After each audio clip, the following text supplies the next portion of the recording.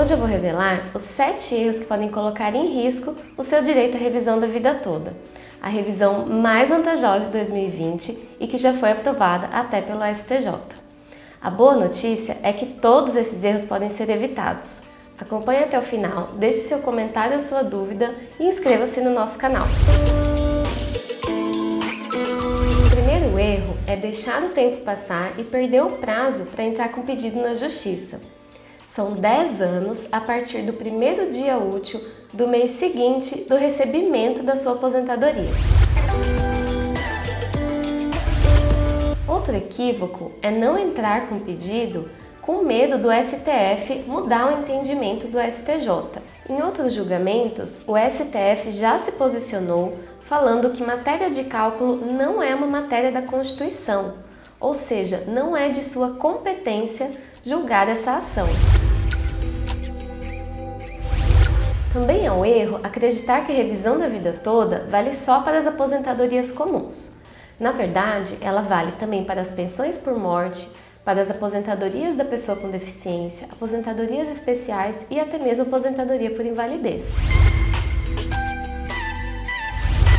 Outro erro é pensar que a reforma da Previdência extinguiu o seu direito. Na verdade, se você pediu a sua aposentadoria antes da reforma ou se você não pediu, mas já preencheu os requisitos de aposentadoria até a data da publicação da emenda constitucional que alterou as regras de aposentadoria, você tem direito. Mais um erro que pode trazer prejuízo para você, que é entrar com o pedido da revisão da vida toda sem fazer um cálculo com um especialista em previdência. Isso é muito perigoso porque pode até diminuir o seu benefício. Mas atenção quando você for entrar com a sua ação de revisão da vida toda. Esse erro também é relacionado ao cálculo.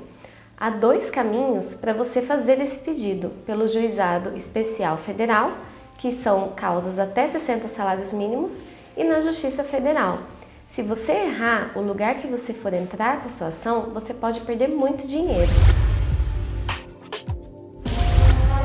Quer ver outro erro? Tem gente que acredita que o INSS irá conceder esse benefício administrativamente. Requerer lá no INSS direto ou esperar que ele reajuste seu benefício é uma grande perda de tempo. Você tem que entrar judicialmente.